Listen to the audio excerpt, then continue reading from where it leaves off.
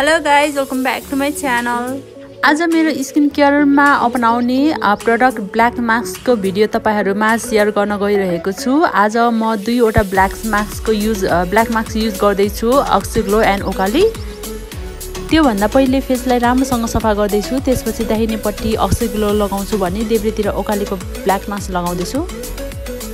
यो अक्सिग्लो मैले first time लगाउँदैछु भने ओकाली पहिल्यैदेखि लगाइरहेको मास्क हो। क्वान्टिटी चाहिँ ओकालीको भन्दा कम हुने रहेछ। अब म लगाएर हेर्छु कस्तो हुन्छ हेरौँ। मैले चाहिँ ब्ल्याक मास्कहरू एक या दुई महिनामा एक फर एक फेरि लगाउने गरेको छु। अब मैले लगाउन सुरु गरेँ अक्सी ग्लोको ब्ल्याक मास्क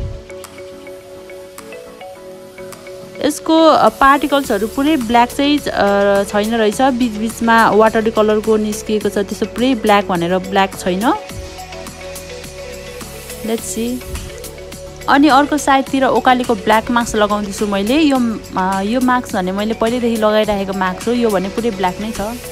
अनि पैसाको कुरा गर्नुपर्दा अक्सिग्लोलाई मैले सिक्स हन्ड्रेडमा लिएको अनि ओकालीलाई भने थ्री फिफ्टी थ्री एट्टी पसल अनुसार मैले यसको मूल्य फरक पाएँ। अनि मास्क लगाइसकेपछि नसुकुन्जेलसम्मको लागि एकछिन शुद्ध पनि हुन्छ। अनि हजुरले मेरो फेसमा क्लियरली देख्न सक्नुहुन्छ। बिचबिचमा टाटे पाटे यो अक्सिग्लोको साइडतिर देखेको छ। बिस मिनटपछि चेक गर्दा एउटै गतिमा सुक्नको लागि दुवै साइडकोले सेम सेम टाइम लिएको छ।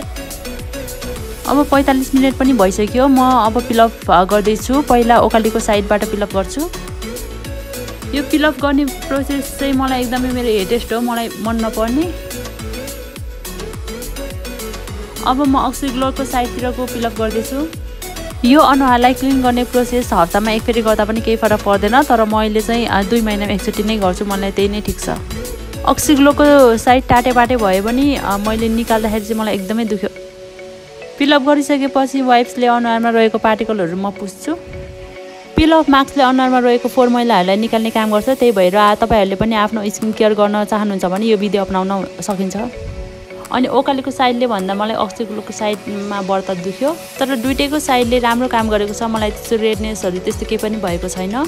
अनि अलिक छिटो छिटो पिलअप गर्नुपर्ने अनि म जस्तै एकदम दुखाइ खटाउन नसक्ने व्यक्तिहरूले चाहिँ ओकालीको प्रयोग गर्दा हुन्छ। अनि अनुहारमा रौँहरू अलिक कडा भएको व्यक्तिहरूले चाहिँ अक्सिग्लो प्रयोग गर्दा पनि एकदम राम्रो हुन्छ जस्तो लाग्यो मलाई।